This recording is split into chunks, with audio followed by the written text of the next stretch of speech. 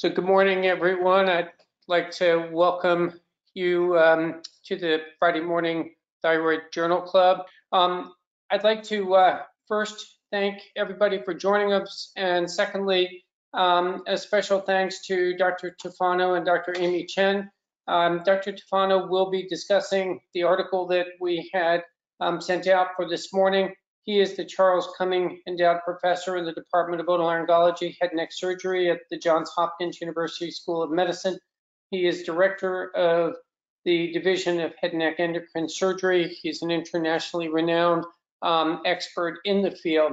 Um, and um, the discussant today is Dr. Amy Chen, who is the William and Lillian Hackerman Professor and Vice Chair for Faculty Development in the Department of Otolaryngology, Head and Neck Surgery at Emory University School of Medicine. Also, both nationally and internationally renowned for expertise in um, endocrine surgery. And so with that, I'm going to turn this over to Dr. Tufano. Um, and uh, Ralph, it's all, all you. Thank you. Thanks, Mark. And thank you, everybody, for attending the webinar. I want to say uh, the THANC organization does fantastic work and all of the staff has been very, very helpful. Mark, I wanted to let you know I've uh, now known you for 25 years as of this month, and I am still amazed by all the exceptional work you do for all our patients in the field. So thank you. Uh, today, we're going to cover the article, Ultrasound Guided Radiofrequency Ablation versus Surgery for Low Risk Papillary Thyroid Microcarcinoma, results of over five years follow-up. And this is with colleagues that I've worked with at the People's Liberation Army Hospital in Beijing, China. And you can see them all listed on this page.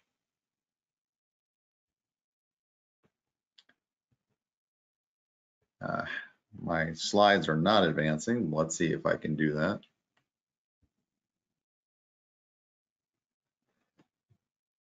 Stella, I'm not able to advance my slides. There we go. Okay. So I have some disclosures. Uh, you can see here. Let's get to the case presentation. This is a 32-year-old female presented to the Thyroid Center for a second opinion on a single incidentally found thyroid nodule in the left thyroid lobe the nodule was a solid hypoechoic mass measuring six millimeters in its largest dimension that presented with irregular margins and microcalcifications. No suspicious lymph nodes were observed. The patient insisted on getting an FNA biopsy, which revealed a Bethesda 6 lesion. She had no significant family history of thyroid cancer and no exposure to radiation. So what is your first choice in treatment? And you can see A is active surveillance, B is lobectomy alone, C is lobectomy with possible total thyroidectomy if adverse features are identified at the time of surgery. D is total thyroidectomy with central neck dissection. And E is ultrasound guided radiofrequency ablation. The outline for my talk will be uh, the following. I will cover the basics of RFA because I think you need to understand RFA before we can start talking about applying it to treating a thyroid cancer and in particular a papillary microcarcinoma. I'll discuss a little bit about the RFA technique so it makes sense to everybody and you can see what's available. And then of course I'll discuss the study.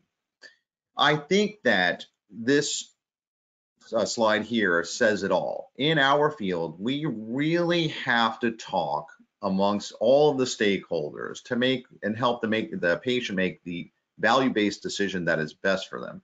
This is critical, especially when there isn't hard and fast evidence to hit you over the head and say, you absolutely must do this or that. So the value proposition for the patient, they have to come to realize that, and we need to help them with that. I also would say that we have a need to familiarize ourselves with all treatment options, even if you don't perform them. We have an ethical responsibility to our patients, a professional responsibility, and we also need to keep current with our evolving technologies. We have a responsibility to ourselves. Critical evaluation to avoid a personal or subjective bias, and especially to avoid paternalism. That's very important in helping patients to make a fair value-based decision. How do you get started with radiofrequency ablation? This is kind of new, right? I mean, surgery is surgery, but for radiofrequency ablation especially, this is a new technique that may be unfamiliar to some of the stakeholders who care for patients. Maybe even some endocrinologists who don't perform their own fine needle aspiration biopsy or interventional procedures. Well, I think just like anything else, you read the literature, this is what you do. You know, you're in this field and you understand the ATA guidelines and you understand the relevant RFA studies and guidelines. But at the core of this really is learning ultrasound, hands-on ultrasound, you doing it yourself of the thyroid and parathyroid glands. You have to be facile with needle aspiration biopsy techniques. And I think that that's critical before endeavoring with RFA. You also will figure out that ultrasound provides invaluable information with regard to your procedure, whether it's surgery or RFA. What is the relationship of the index nodule that you're going to treat? Considering the different treatment options, right? So if I have a lesion that is sitting at the posterior capsule medially up against the tracheoesophageal groove, that might not be a good patient for either active surveillance or RFA. But if I had a nodule that was def definitely intraparenchymal, surrounded by normal thyroid tissue in the mid to inferior lobe, well, that may be an ideal candidate for RFA. So location, location, location is critical, and not every six millimeter papillary microcancer is the same.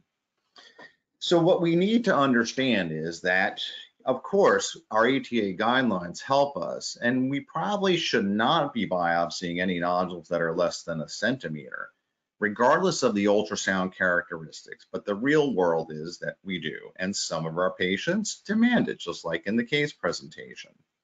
So what to do?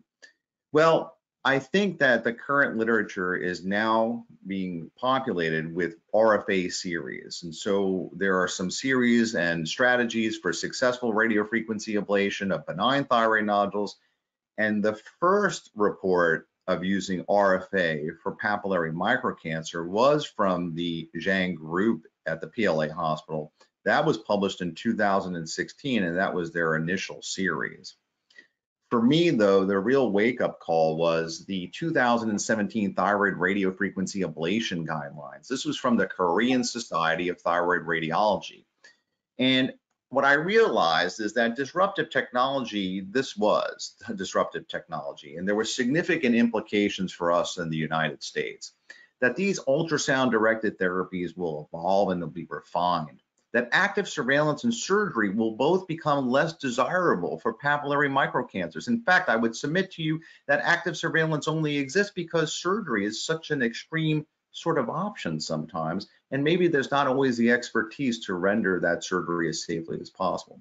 Most benign thyroid nodules and small cytologically indeterminate nodules and thyroid cancer will come to ablation. So if our attention is only toward these fancy surgeries or remote access approaches, I think will come to suffer the same fate as the dinosaurs. I think surgeons, endocrinologists, radiologists, all must be facile with ultrasound, fine needle aspiration, biopsy, and directed therapy skills to remain relevant in all aspects of thyroid nodule and cancer care. And we realized that pretty early and began a prospective study using RFA for benign nodules at Hopkins starting in July of 2019. I would ask you to consider how many times in your clinic, when you're seeing a patient, you've been asked, can't you just remove the nodule? Well, now you can. You can treat the nodule alone with radiofrequency ablation. So radiofrequency ablation, everybody knows the general concept of what radiofrequency does, right? So it allows you to disturb the tissue enough so that you're heating it and boiling it and causing a thermal injury. The technique is called a moving shot technique because what you're doing is under ultrasound, you're waiting for the changes in the thyroid parenchyma to be demonstrated, sort of a micro bubbling of the tissue, so that once you see that, you're going to move your needle and continue to create these thermal injuries in a very systematic fashion. It's a three-dimensional aspect to the treatment. Certainly you want to be very systematic for comprehensive ablation, even if you're doing a benign nodule. So you may start out posterior and you should, because if you go anteriorly, your ultrasound will be confounded, right? The transmission of the sound waves will be disturbed if you're treating the anterior aspect of the nodule before the posterior aspect. And this is critical to learn these techniques. We do an approach where we go through the isthmus. this allows for stability, especially because these patients are not asleep. They're under local anesthesia. It also prevents the back leakage of this hot liquid in and around the surrounding tissue, and there's clear and definable anatomic landmarks. We don't do an approach laterally. We never do an approach laterally, especially for the benign nodules. This is always transisthmic, and for the most part, it's always going to be the same way for papillary microcancer. We are also very aware that we have to make sure that we're going to create this injury in a systematic fashion, and we're very mindful of the important structures in this area. And this is a bit of an over demonstration because we never have to fully come out with the needle, but you can see that we're having to be very systematic. We call these little triangles the danger triangles. And as I just told you before, if we have a tumor that is sitting at the posterior medial capsule next to the recurrent laryngeal nerve, for example, how are we going to get a margin to treat that cancer? That may not be an ideal cancer for radiofrequency ablation. And of course, we use the same criteria for active surveillance because progression in this area could cause significant consequences and recurrent laryngeal nerve involvement. And then you would have lost a chance to control this tumor without causing that morbidity. So again, location, location, location, critical. Your ultrasound is so powerful in helping to determine that. So how do you select the right patients? Let's talk about benign nodules. Well, benign nodules that are causing symptoms that demonstrate growth on ultrasound, why wait? Especially if you have a young patient who has a nodule that is 2.5 centimeters one year, yeah, asymptomatic, now is almost four, two years later. And so you know eventually it's going to become symptomatic. This is a perfect patient uh, population to treat. Motivated patient, especially if it's a large nodule, if they're going to need additional treatments. There are many training opportunities all over the world. Of course, with COVID, things have changed considerably. But it's important to understand that these training opportunities are going to become more and more uh, available, especially here within the United States, as we endeavor to to have our first virtual course, hopefully at the end of June. So let me just cover some of the great people that I've met in China and this group in particular. I met Dr. Zhang, who you can see here to your left as you're visualizing the screen next to the Great Wall. I've met her at one of the American Thyroid Association meetings after she gave her presentation on that initial series that I spoke to you about before. She is very bright, very eloquent, and I was fascinated with the work they were doing over there. So I said, I have to go over and visit. And Dr. Liu over there on the right is the real uh, master of it all, and she is the director of all of the efforts and very, very um, wonderful to work with. So let's go over the study. And again, the purpose was to compare radiofrequency ablation versus thyroidectomy in treating these low risk papillary thyroid microcarcinomas. The outcomes to be assessed looking at uh, efficacy, the oncologic outcomes, quality of life, complications, and costs over a five-year follow-up period. The study was performed from January of 2013 to November of 2013. There were 174 consecutive patients who ultimately ended up in the study with solitary intrathyroidal papillary microcancers. 94 were for RFA and 80 had surgery, 58 for lobectomy, 22 for total thyroidectomy, and 53 underwent a lymph node dissection. Now, I would remind you that our practices all over the world are very different. This was a decision for the surgeon to make with the patient about extent of surgery. All of these patients, they did not have any evidence of suspicious lymph nodes on ultrasound, but you can see a common practice in China, especially even when just doing a lobectomy, is to perform a routine ipsilateral central neck dissection. The pre and post treatment variables to consider demographics, tumor characteristics, the treatment, local tumor progression if that was seen, lymph node metastases if they developed, distant metastases as well, local recurrence, complications, and quality of life. So the RFA group, these were again solitary suspicious sub-centimeter thyroid nodule detected by ultrasound. There was no evidence of any extrathyroidal extension, and I would say it's very difficult on ultrasound to determine microscopic extrathyroidal extension, but as you know by reading the literature, that really does not have any effect on recurrence rates or survival. There's no evidence of lymph node metastases or distant metastases. They have a routine of performing core needle biopsy. And so that confirmed papillary thyroid cancer, and they think it helps with subtyping the papillary thyroid cancer to make sure they're not going to treat with, uh, with radiofrequency a more aggressive subtype of papillary thyroid cancer. Please remember that active surveillance was not an option during the study period, right? So this is 2013. This predates the ATA guidelines, which came out in 2015, the newest version that included active surveillance and certainly the Chinese guidelines at the time did not have active surveillance as an option. So the patients chose either surgery or radiofrequency ablation. And if they refused surgery or were ineligible for surgery, then they underwent radiofrequency ablation. The surgery group criteria, these were included retrospectively after surgery they were solitary suspicious subcentimeter nodules on ultrasound. And again, 74 out of 80 underwent a core needle biopsy. Six patients elected to just have a surgery based on the suspicious findings alone. They were confirmed to have papillary thyroid microcarcinoma. They did not want a biopsy. There was no extrathyroidal extension, lymph node metastases, or distant metastases. The RFA treatment method is done with local anesthesia. You just inject lidocaine subcutaneously in and around the thyroid capsule. They use a drug that we don't have available, which is a uh, contrast enhanced ultrasound with an agent that they're able to inject intravenously.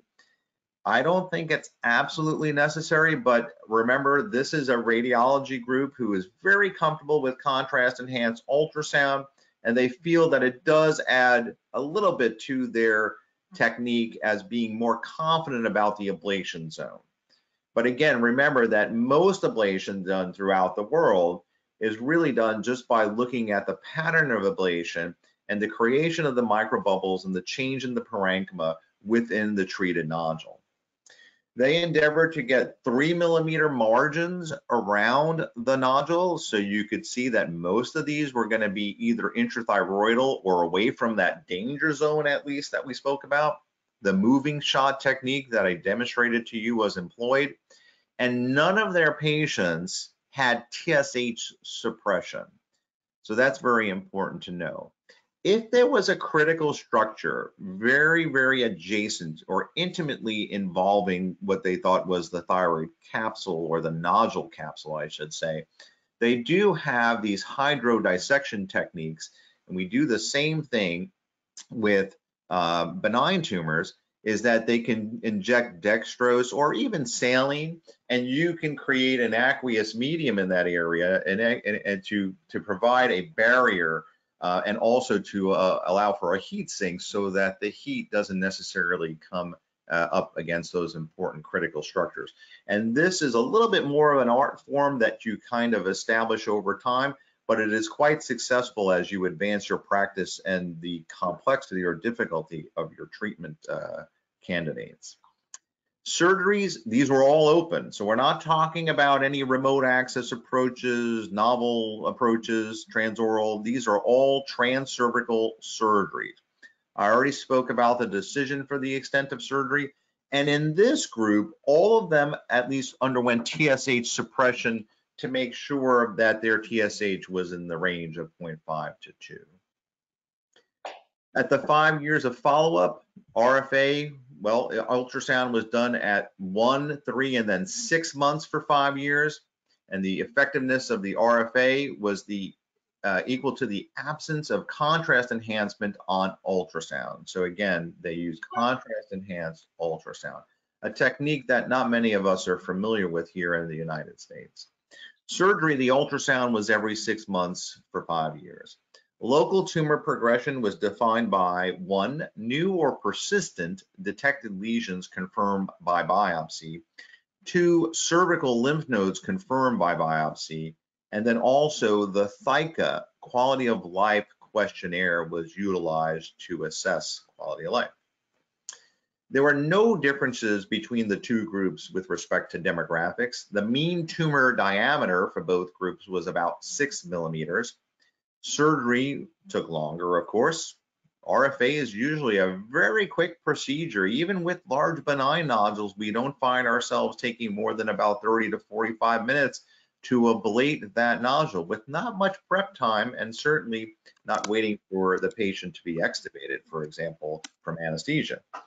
There was more blood loss with surgery, a longer hospitalization time, and please remember that in China, most of these patients, even still to this day, if you're undergoing a lobectomy, will at least spend one, if not two nights in the hospital. Where, of course, in the United States, we've moved toward outpatient surgery as much as we can when it's safe.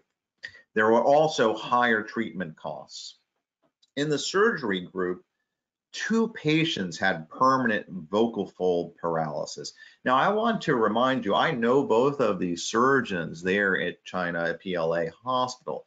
These are very experienced surgeons. They do thousands of thyroid surgeries a year, not hundreds like some of us do, but thousands.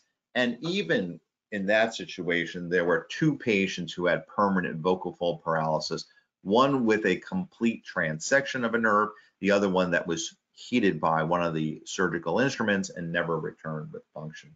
One permanent hypoparathyroidism and one patient had a new lesion in a contralateral lobe. Okay, well, they can't be held responsible for that, but you know, that's why they're followed with ultrasound.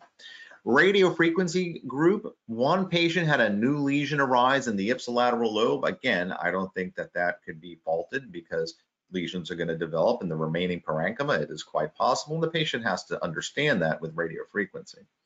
No complications whatsoever, and the quality of life scores were statistically significantly better in 9 out of 13 categories.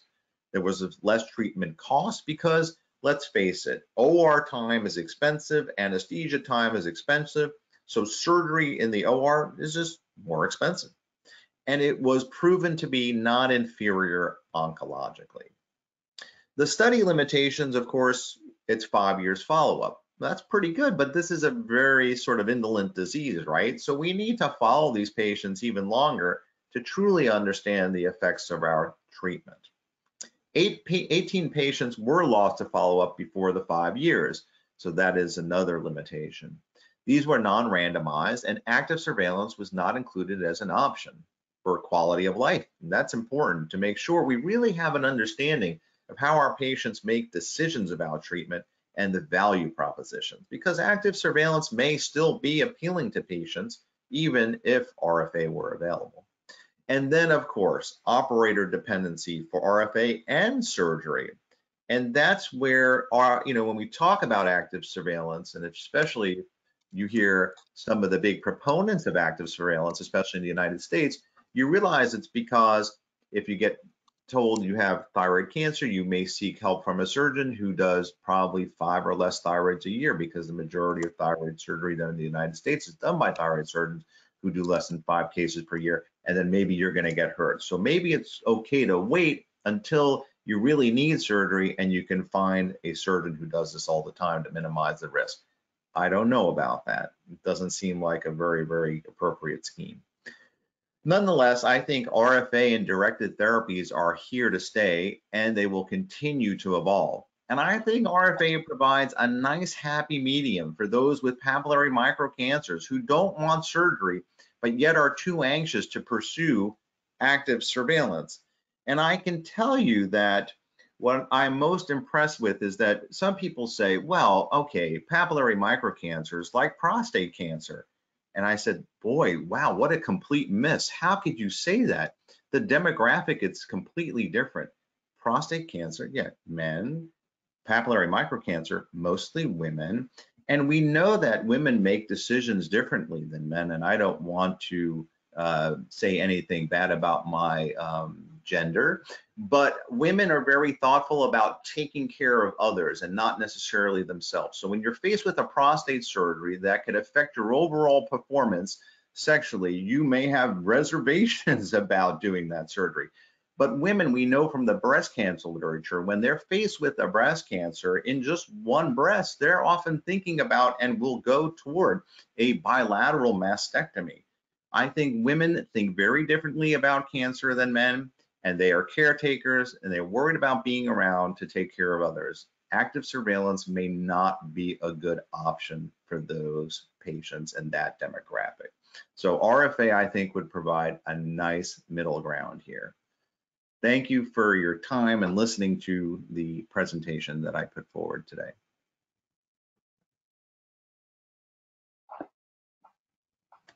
Great, thanks, Ralph. Um, Amy, if you could uh, uh, move forward with a discussion.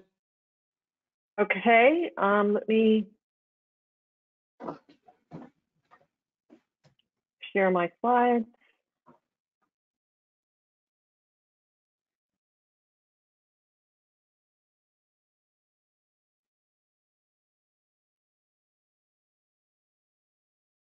All right. Okay, so um, thank you, Mark, uh, for inviting me, and thank you for all the participants for your attention. And thank you, Ralph, for your presentation. And so I'm going to uh, uh, give uh, kind of point counterpoint to what Ralph has discussed already. I'm going to talk a little bit about active surveillance, but in general, we already know the study design of what um, Dr. Tufano's study showed. Uh, the study limitations I think uh, he's already gone over a little bit, but I wanted to talk a little bit about it as well. This did come from a single institution, and therefore there are concerns about lack of generalizability from the uh, information that was um, uh, presented. Uh, the uh, the study uh, was performed mostly by a very highly skilled ultrasonographer with uh, radiofrequency ablation experience. Um, that may not be generalizable at this time to much of our uh, practice population in the United States. And uh, therefore, I, I, have some concerns about that. And also, there was no option for active surveillance at uh, the time the study was performed.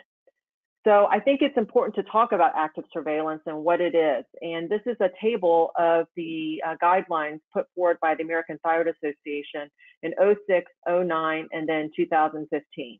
And as you can see in this bottom row, active surveillance wasn't on the table for the past two guidelines. It was only placed uh, in the guidelines in 2015.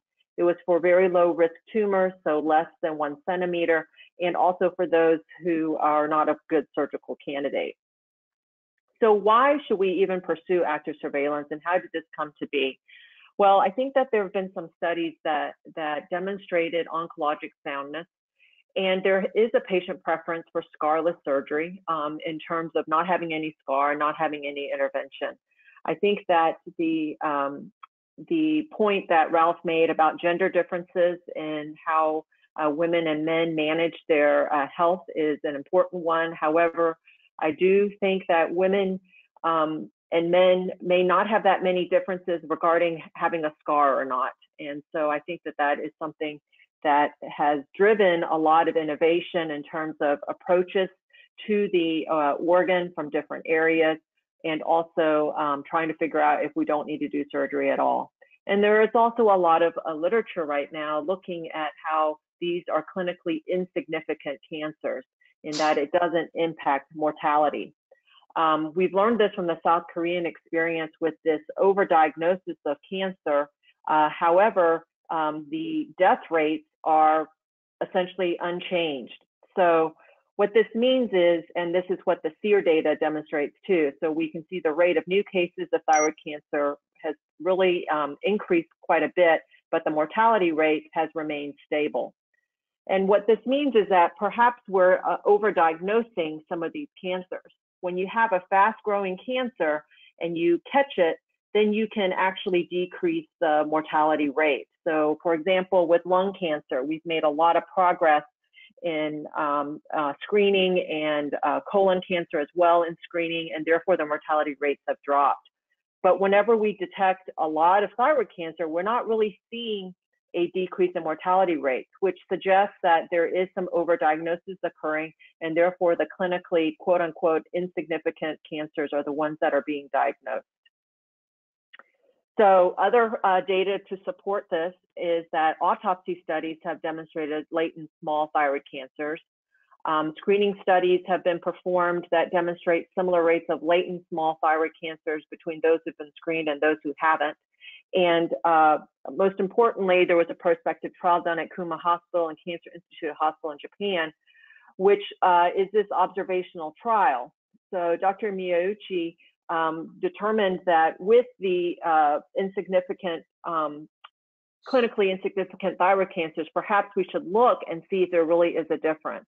So from 93 to 2004, patients with sub-centimeter papillary thyroid cancer diagnosed by ultrasound guided fine needle biopsy were offered observation versus surgery. So it's important to note that this was not a prospective randomized trial, but it was a uh, patient's choice. And obviously that creates some selection bias. So observation was defined as every six to 12 months ultrasound. If there was growth, then surgery was offered. Um, about 340 patients underwent observation. A third of them subsequently had surgery. 1,055 people underwent immediate surgery. And the important thing was that there was no detriment in oncologic soundness uh, in the delayed surgery in the observation group. So basically, people did the same, regardless of whether you decided to do observation or surgery. Um, and these are some of the findings and observation of the low risk uh, papillary microcarcinoma at Kuma Hospital. Uh, the, interestingly, the, uh, the microcarcinoma of young patients were more likely to progress. And uh, he has had sub subsequent papers that have demonstrated this. Um, in Japan, the medical cost of observation was lower than that of immediate surgery. So if we're talking about cost, observation might be the better option um, economically. And uh, also that those who underwent surgery after a period of active surveillance did not show any adverse features or did not lose any time or did not um, sacrifice any oncologic soundness by delaying their surgery. Similarly, in Cancer Institute, the hospital, very slow, uh, very low uh, proportion of people under uh, had size enlargement, um, and uh, none of the patients who underwent surgery after the detection of progression showed any uh, worse outcomes. So this is the body of work that supports active surveillance. However, there are some contraindications to active surveillance. Uh, those that have uh, clinically high risk features, uh, of course, whenever we decide whether to do active surveillance, RFA, or surgery, I think a high resolution ultrasound is very important. And I echo what Ralph said about how uh, surgeons and endocrinologists who care for thyroid patients should really have a good command of ultrasound, um, ideally in their own hands, or at least with a partner who is uh, interested and motivated to look at things that, that you as a treating physician or treating clinician are interested in. So obviously, if there's nodal disease, you don't want to move forward with active surveillance or if there's metastatic disease. If there are signs or symptoms of invasion to the recurrent laryngeal nerve or trachea, this is the same thing as what Ralph said about location, location, location. Where this papillary microcarcinoma is in the thyroid is, is extremely important to decision making about subsequent treatment. High grade malignancy is more difficult to detect in the US because we don't routinely do core biopsies on our thyroid nodules. However, if you did do a core biopsy and you did find, for example, tall cell variant, you may, uh, I don't think it would be a good idea to do active surveillance. Uh, and obviously those are showing progression um, of uh, the size of the nodule or lymph node metastasis, you should take them off the active surveillance and go to surgery. Um, so in terms of the location, this paper argues that perhaps um, they should not be observed However, it's sometimes difficult to tell on imaging, and therefore, uh, this is some uh, soft uh, features that may not be a good uh, indication for surveillance. So I think that um, I'm just going to pose some uh, different scenarios. Um, why should we do active surveillance over RFA? Well, I think the number one reason would be that technical mastery of RFA is not widely available. And in fact, it's only uh, being instituted for benign thyroid nodules in, uh, in some centers in the US. Uh, very few centers, as, as far as I know, are offering RFA for papillary microcarcinomas. Uh, the other thing is that there's a relative ease of active surveillance. You just do an ultrasound, you have the patients come back. You don't need to be highly skilled in RFA. Yes, you do need to have a skilled ultrasonographer, but I think that's much more readily available than someone who has technical mastery of RFA. And there's a potential for complication with RFA. Even if we're not doing surgery on the patients, there is a potential for vocal fold paralysis due to the heat of the um, RFA uh, uh, on the thyroid itself. And again, why should we even touch these cancers? They're clinically insignificant. We've demonstrated epidemiologically that they do not really impact the mortality rate. And therefore, perhaps we should just be watching them and not uh, uh, putting something into it or doing some sort of intervention. But really, what we're really trying to figure out is, you know, we're trying to tell the patient, okay, it's nothing serious, but let's keep an eye on it and make sure it doesn't turn into a major lawsuit. I mean, yes, that is always in the back of our minds when we practice medicine in the United States. And therefore, I think it is important to look at other uh, options besides active surveillance for these papillary microcarcinomas. So one thing is what uh, Ralph has Ralph and his authors have already proposed, RFA.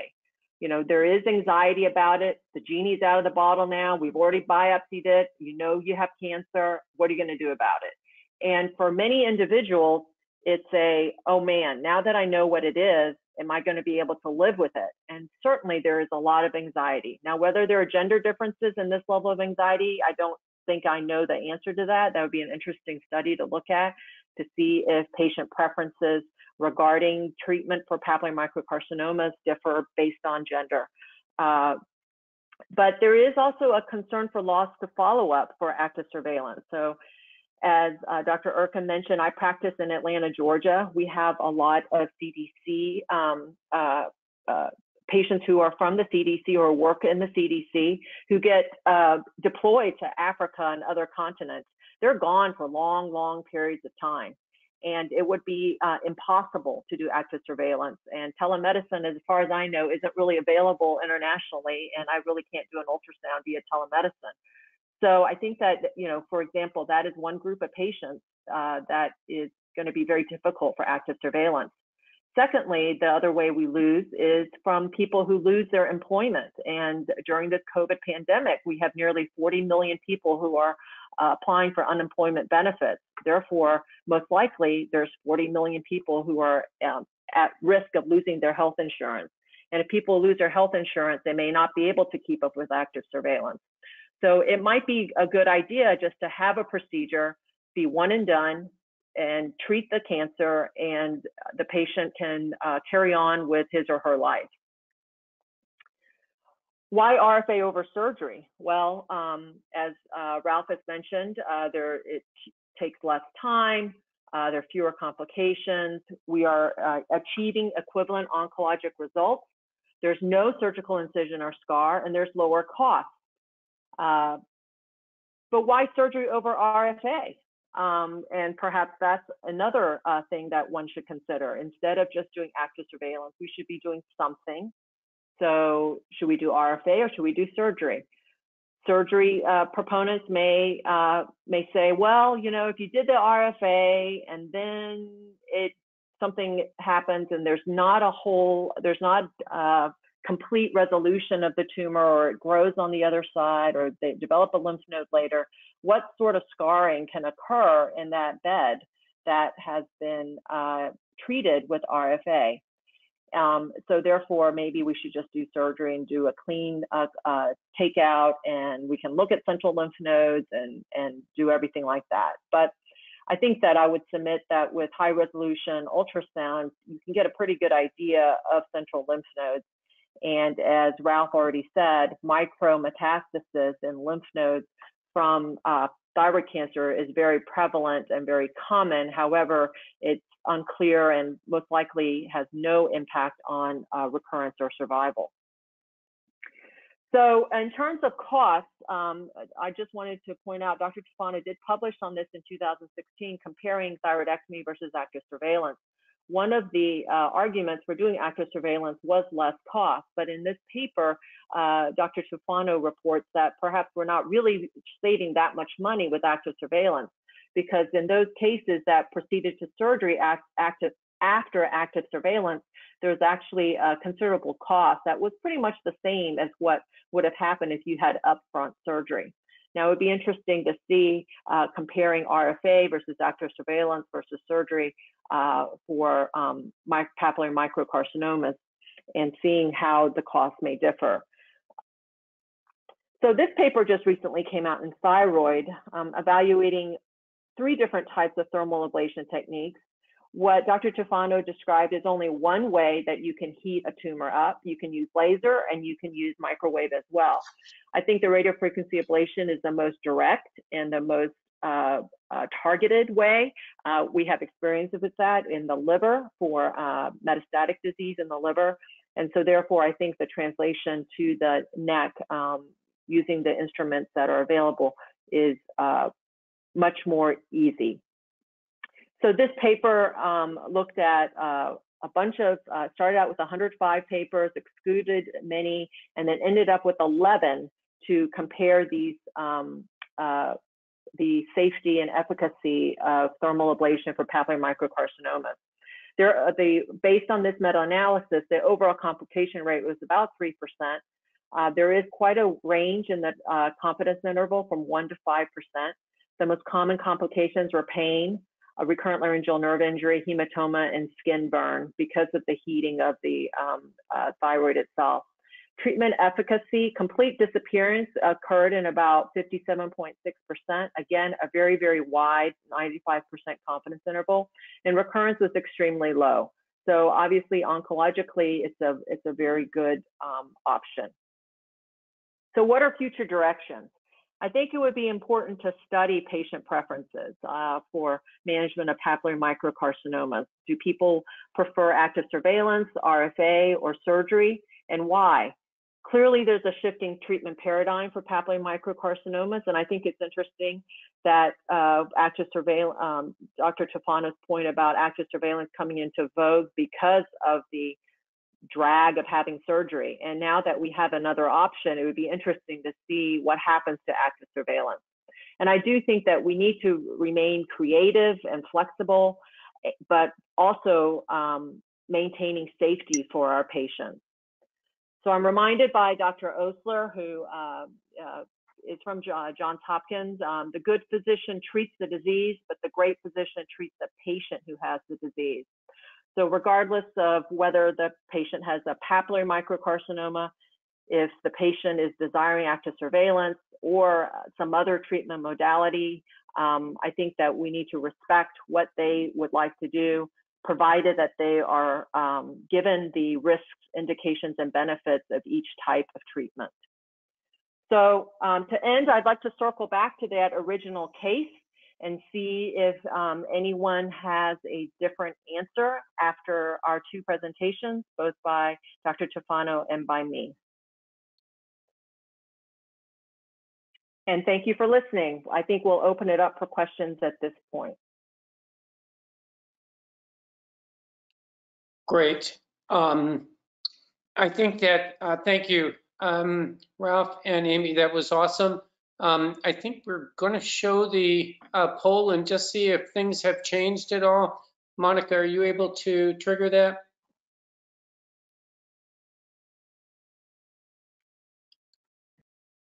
So this was, is this our current or previous or the initial? This is the first one.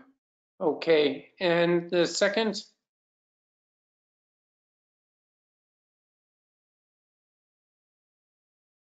poll has been launched.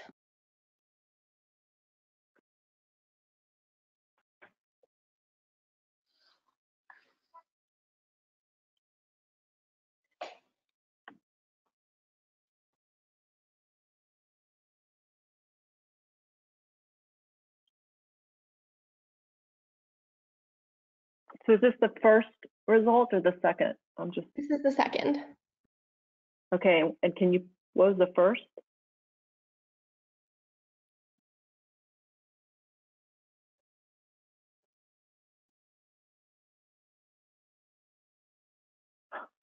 So it looks, it appears from this that um, uh, the same number of people who were choosing radiofrequency ablation has um, remained pretty stable, but the number of folks leaning towards active surveillance has gone up uh, significantly. Um, I don't know if that's a change of, of mind or um, folks who were here at the very outset when that poll was taken. Um, there are a number of questions that, again, I want to thank both presenters um, for a really concise and really outstanding presentation. I'm going to pose a few questions. that- I'm Mark, sorry? may I Just may, I may, may I make a comment? Sure. Um, With regard to radiofrequency ablation for papillary microcancer or any cancer, I don't think that at this time in the United States, it should be happening outside of a research study, IRB approved study. Uh, I think what we need to make sure of is that as RFA technology becomes readily available and our, and as people are doing uh, RFA or using RFA for benign thyroid nodules, I don't think it's just a simple transition to offer it for microcancer. And so I just want everybody to be careful to understand that this is very nascent in that uh, some of the things that we already spoke about, yes, uh, I think it will come into play and possibly into vogue as we gain more experience. But right now, I don't want people to think that if I have an RFA generator available, I'm going to go and readily do this uh, for microcancers. Okay. So Ralph, um, I'm going to um, start off with a first question here, um, and it really relates to another publication of yours this year, and it's um, it's it's entitled "Wolf in Sheep's Clothing: Papillary Thyroid Microcarcinoma in the U.S." And in that study, um, you argue that 20% of the population of thyroid microcarcinomas in the U.S. harbor um, aggressive um, histologic features and therefore argue more in line with performing a lobectomy in order to be able to diagnose and treat appropriately. Now, this may be an issue of being able to do um, a core biopsy and get a better appreciation for what the actual histology is um, of a microcarcinoma. Um, and so I, I'd, I'd like to get your thoughts on this. It seems like there are really two opposing thoughts, and I um, that um, I just would like to get your perspective. So Mark, I think in really in the absence of very sound prognostic molecular marker information, um, this is really hard to objectify and say what is the best treatment option. I think in the future, we are going to be able to risk stratify or prognostically stratify these microcancers, the smaller papillary thyroid cancers into low, medium, and high risk. That would be my hope. I think the high risk ones would certainly go for surgery. I think the low risk ones that were, you know, not showing any aggressive profile, mutational profile would be great for active surveillance. And then you may have some middle ground ones that you may treat with radiofrequency or surgery. And I think that this is what we're lacking. And that's why we have all these different treatment options. I would say to you that really you're right. It is a matter of selection. And the core biopsy, I think, provides in some pathologists' hands a little bit more information to inform us about the subtype. And I think that if we see tall cell features or we see any difference in the conventional, other than the conventional papillary uh, thyroid cancer, um, then we get a little bit more worried about it and we can't really understand how it's going to behave. So I think that bottom line is, is that if you have a papillary microcancer, it's intraparenchymal. On your ultrasound, you're quite confident of that. You trust your ultrasound. You don't see any lymph node metastases. The patient is euthyroid. The other lobe is without any nodules. There's no family history. This is a perfect case for considering less is more. And this may be the perfect case for either active surveillance or radiofrequency ablation. And I think we have to keep taking these cases as individual cases and helping the patients with our expertise, because this is what we do day in and day out, is treat patients with thyroid disease, help them make the value-based decision that's best for them. Okay, um, I'm going to get to a couple of questions, one of which relates to exactly how steep is the learning curve to achieve zero complications after um, in performing RFA? And another question has to do with what is what was um, the surveillance on the patients treated with RFA in China? So let me get to the learning curve. First and foremost, you have to become facile with ultrasound. You have to do it yourself do it on every single patient that you're seeing that you would be considering for a surgery. Obviously, they're coming to you for surgical consultation or as an endocrinologist just for evaluation. And, and so that is very critical that your ultrasound is your your ability to do that is just completely sound and and it is fundamental rudimentary second is is that i've tried every iteration of remote access surgery. And I can tell you, as I get older, this is an incredibly challenging thing. And even for me to learn transoral surgery after coming up with the vestibular approach, it is very challenging. Radio frequency for somebody who does fine needle aspiration biopsies and is comfortable accessing the thyroid, it is so much simpler. And it is actually very peaceful to be able to do this the lidocaine, you would be amazed that you're able to get the patient anesthetized very comfortably. They really permit you to do this with them not asleep. And again, I think that patient selection is critical. So if you have this intraparenchymal thyroid cancer, mm-hmm. papillary microcancer in the lower part of the thyroid, right, surrounded by normal parenchyma way away from the important structures, this is the perfect one to start with. I mean, I wouldn't start with a posterior capsular tumor that's in the danger triangle. I mean, we have to be prudent about this. So this learning curve for me, I've done probably about 40 uh, benign thyroid nodules with RFA, and the learning curve has been exponential. And I, I, I really enjoy doing it. But again, I ultrasound every one of my patients who comes in I've done fine needle aspiration biopsies for years, although less at this point in time. And so I feel very comfortable just adding a needle with some heat at the end to be able to visualize it under ultrasound, look for the micro bubbles, doing the moving shot technique and achieving what I'm trying to achieve with the technique. So it, it is very quick to learn. Um, I think that um, uh, Dr. Sinclair um, has a few comments. Uh, Dr. Catherine Sinclair, I think we can um, allow you to talk here. thanks, thanks, Dr. Urken. Dr. Tufano, congratulations on the publication of this article. Um, it's uh, it's great to see more and more publications coming out about RFA. And Dr. Chen, lovely to hear your comments um, about active surveillance. Um, uh, just a couple of comments. We started our um, prospective trial around the same time, I think, as you did, Dr. Tufano, in um, August last year, along with two other centres in New York. And I would echo what you said regarding the learning curve. And it's even being proficient in ultrasound and, and proficient in biopsies, it's still a different technique. And there is a learning curve for the procedure. And definitely without proficiency in ultrasound and biopsies, it would be a technique that could potentially be quite dangerous, I think, to the patient. And so I would echo that. And I think if it's something you're thinking of taking up, you definitely need to have the appropriate training before you consider taking it that one step further.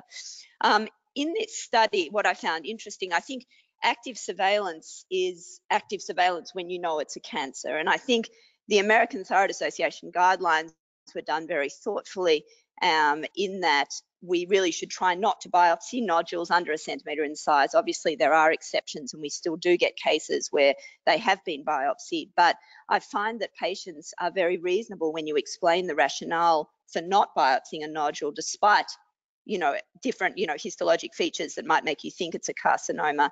And you know, I just want to sort of uh, point out that I guess active surveillance only becomes active surveillance if we actively biopsy these sub-centimeter nodules. So just having a nodule does not mean it needs treatment. And I think that's the the sentence that I echo 10 or 20 times a week to my patients, just because it's there, we don't have to do something about it.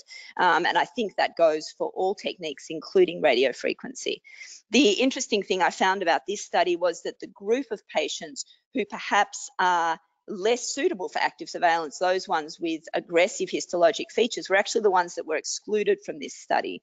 Uh, we know from the active surveillance trials, which did not use core biopsy, only used fine needle biopsy, most of them, that many, you know, many of these cancers don't progress, but seven or eight percent may progress in in some way.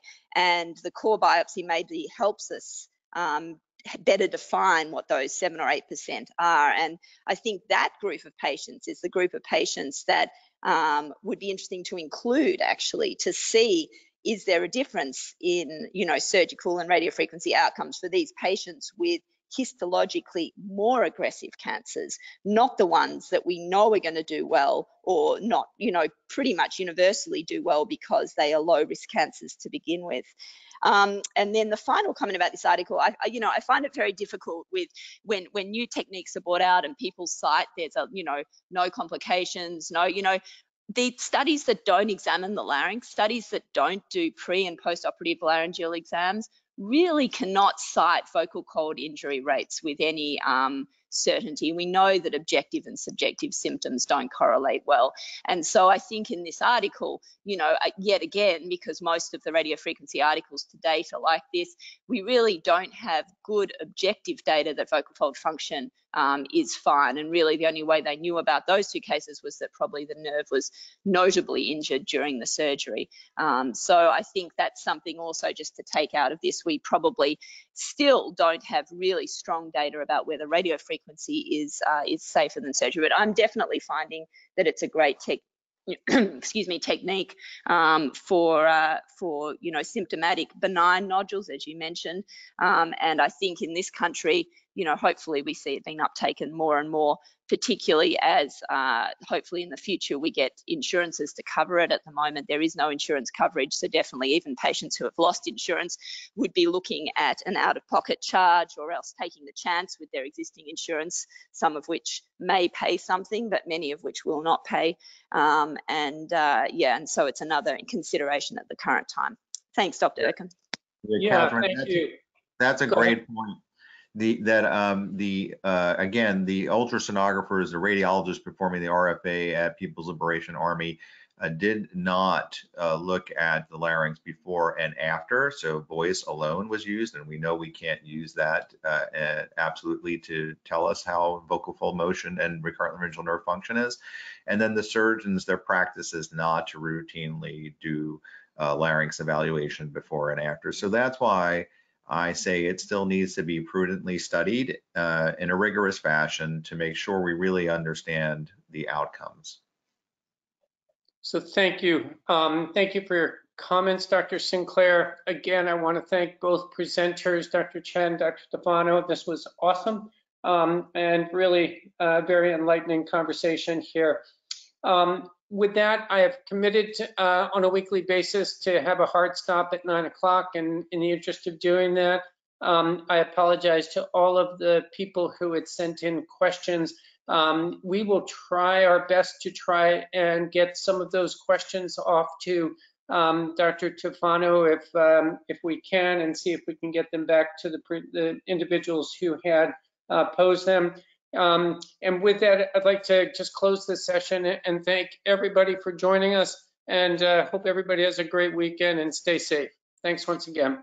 Thank you, Mark. Feel free to give Thank out my email for anybody who has any questions. Great. Take Terrific. Bye. Hey, You too.